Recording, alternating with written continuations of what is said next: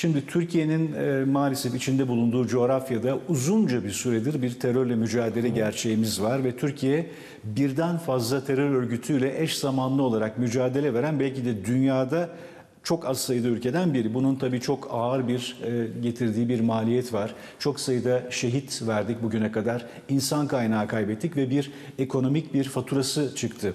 E, terörle mücadeledeki güncel gelişmeleri ben farklı boyutlarla size sormak istiyorum. İşin bir komşularla ilgili tarafı var.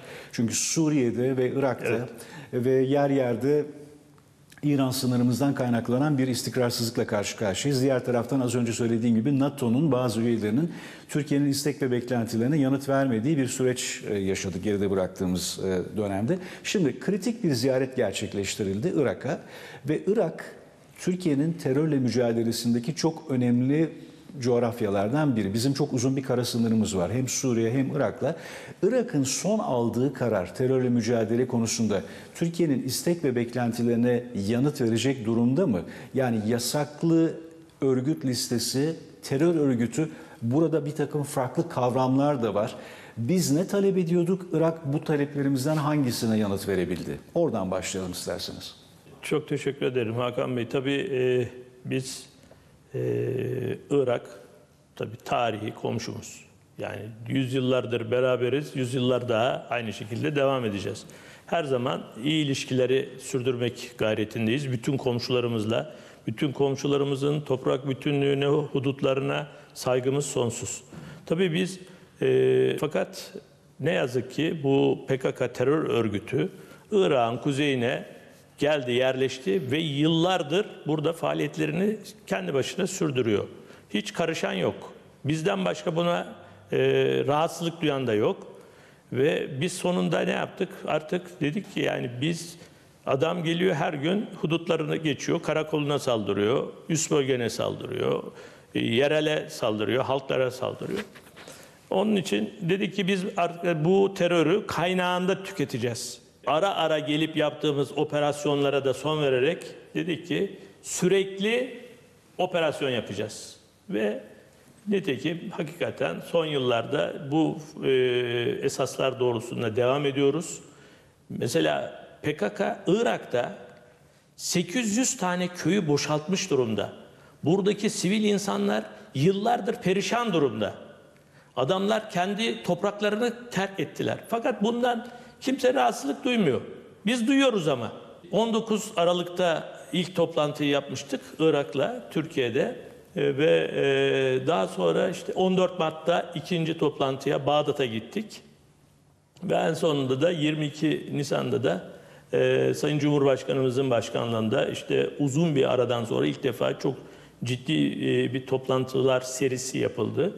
Şimdi Irak'ta tabii şöyle bir değişiklik oldu. Biz de memnunuz. Ne, ne dedi? Yıllardır bütün Avrupa'nın, Amerika'nın ve Avustralya'nın dahi terör örgütü dediği PKK'ya Iraklı komşularımız hiçbir şey demiyor. Ve biz özellikle bu 19 Aralık toplantısında buna çok ısrarcı olduk. Yani bu şekilde biz bu toplantıları, görüşmeleri sürdüremeyiz dedik. Yani sen kardeşim adama terör örgütü demiyorsun, e ben senden terörü konuşmak istiyorum. Onlara da teşekkür ediyoruz tabii. Onlar için de zor bir ortam aslında. Bunu da anlıyoruz, anlayışla karşılıyoruz. Ve e, bu gittiğimizde işte 14 Mart toplantısında e, buna yasaklanmış örgüt ifadesini Iraklı dostlarımız kabul ettiler. Kendileri ifade ettiler tabii. Aslında biz tabii terörist denmesinde ısrarcıyız. O ayrı bir şey. Terör örgütü diye Terör ifade edilmesi. örgütü. Evet. Bu buraya doğru gelebilecekler mi? Bir, Biz yani bir adım daha atılacak gelebileceklerine in, in, ben şahsen inanıyorum. Nasıl bir fark yaratır? Yani yasaklı örgüt ve terör örgütü kavramları e, Irak anayasası ve hukuku bakımından bizim beklentilerimiz ölçeğinde nasıl bir tutum farkı ortaya koyuyor? Yani şu anda tabii oradaki Iraklı dostlarımızın mesela Irak kuzeyindeki hudutlardaki karakollardan onlar sorumlu. Irak ordusu sorumlu. Ve bu mesela e, toplantıdan sonra oralardaki faaliyetlerinde daha büyük bir ciddiyet başladı. Bizle daha sık koordine ediyorlar. Peşmergelerle koordine ediliyor ve oradaki faaliyetler daha bir ciddi olarak yani hem Irak hem e, KDP, Peşmerge hem de bizim silahlı kuvvetlerimiz arasında daha uygun bir ortamda yürütülmeye başlandı. Bundan biz de büyük bir memnuniyet duyuyoruz. Ve inanıyoruz ki Iraklı dostlarımız çok yakın bir zaman sonra çok daha mutlu olacaklar. Kendi vatandaşlarına karşı görevlerini yapmış olmanın huzurunu duyacaklar. Dolayısıyla e, tabii ki terör terörist terör örgütü dedikleri zaman da tabii sorumlulukları biraz daha büyüyecek. Mesela şu anda e, Süleymaniye'de e, PKK terör örgütü elini kolunu sallayarak dolaşıyor. KYB'nin sorumluluğundaki alanda. Evet, dolaşıyor, faaliyet yapıyor, eğitim yapıyor. Kimsenin bir şey dediği yok. Halen devam ediyor Evet, şu anda. evet. Peki efendim buradan CNN Türk yayınından bu tespiti yaptıktan sonra KYB'ye bir son çağrı, bir uyarı niteliğinde ne söylemek istersiniz? Şimdi tabii ki biz aslında KYB'ye, oradaki e, yöneticilerin hepsine her defasında söylüyoruz. En son toplantıda Sayın Cumhurbaşkanımız açık açık ifade ettiler. Yani bu işlerden vazgeçin. Gelin orada huzur içinde yaşamak istiyorsanız bu terör örgütünden kendinizi kurtarın. Onlardan arının. Kendiniz orada kendi insanlarınızla beraber huzur içerisinde yaşamak için yeni bir fırsat, yeni bir ortam yaratın. Ve biz de buna yardımcı olalım. Benim söylemek istediğim bu. E, bu durumun yani Türkiye'nin istek, beklenti ve ifade ettiğiniz haklı taleplerinin karşılanmaması durumunda Türkiye yeni bir takım seçenekleri bu noktada bir aksiyon olarak masada tutmakta mıdır efendim KYB Elbette ki. noktasında? Elbette ki. Tedbirlerin hepsi masada duruyor. Evet. E, Efendim e, bir taraftan da e, bu son dönemde Türkiye'nin olası zaten uzun süredir devam etmekte olan zaman zaman ihtiyaç söz konusu olduğunda devam eden sınır ötesi güvenlik operasyonları, terörle mücadele operasyonları devam etmekte. Bir süredir de olası bir terörle mücadelede yeni bir sınır ötesi operasyon değerlendirilmekte, kamuoyunun gündemine geldi. Bu konuyla ilgili acaba son durum, son hazırlıklar nedir? Hangi noktada adımlar atılabilir? Kapsamı ve içeriği ne olabilir? Yani terörle mücadele, teröristle mücadele esaslarımızı değiştirdik. Teröristi kaynağında yok etme stratejisiyle mücadele ediyoruz.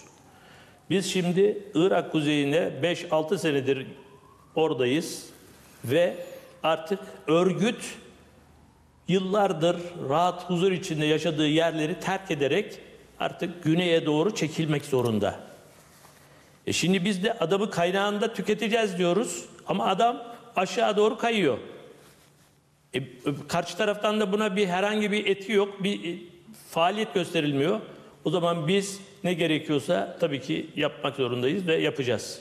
Efendim e, bir taraftan da zaman zaman girişimler düzeyinde veya bir takım araçlar, gereçler yakalanıyor. PKK'nın öteden beri bir tür hava gücü kurmaya çalıştığına dönük kaygılar ve endişeler ve bazı bilgiler, görüntüler paylaşılıyordu. Bir, takım girişimler de oluyor. Bu yönde bir bizim bir hazır, Türkiye'nin bir hazırlığı, Milli Savunma Bakanlığı'nın, Türk Silahlı Kuvvetleri'nin bir hazırlığı var mı? Ve bu noktada müttefiklerden, ABD ve diğer bazı müttefiklerden araç, gereç ve mühimmat desteği alıyorlar mı? Özellikle hava gücü oluşturma noktasında. Bu c- ciddi bir risk olma noktasına geldi mi? Şimdi şu ana kadar yani bu bağlamda çok bizi rahatsız eden bir durum yok. Hava gücüyle ilgili soruyorsunuz. Evet, Onu hava gücüyle ilgili. Ee, tabii ki e, böyle bir şeyi aslında PKK'dan ayrı bir güçmüş gibi olduğunu iddia eden dostlarımız da var tabii. Ve bunlar efendim biz PKK'ya böyle bir şey vermiyoruz. Aslında biz bu taraftaki onun ondan hiç ilgisi olmayan YPG'ye veriyoruz. Ne veriyorsunuz? İşte nitekim kendi kendilerine yakalandılar. Geldiler. Onlara eğitim verdiği, onları pilot olarak kullandıkları, YPG'lilerin kullandığı iki tane helikopter geldi, çarpıştılar, düştüler ve hepsi de öldüler. Şimdi bu gösteriyor ki bir defa böyle bir faaliyetleri var. Ama bu iki helikopterin düşmesinden sonra büyük bir ihtimalle biraz ara verdiler veya başka bir şekilde bir faaliyet yürütüyorlar. Ama böyle bir şeyi akıllarından geçirdiği kesin.